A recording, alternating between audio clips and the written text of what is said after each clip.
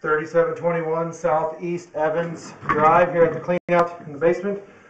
Pull the stools, looking at the sewer main right here. Here's the Y.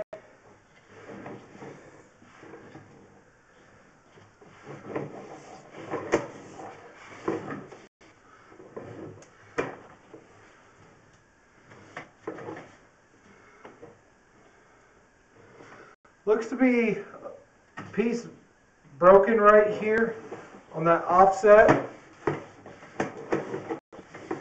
Going down to the sewer main. This line appears to be cast iron, not 100% sure. Yeah, it looks like it is cast.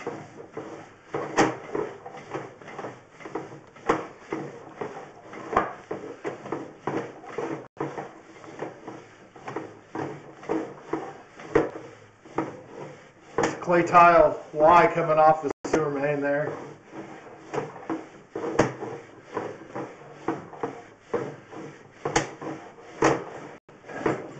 And that's it.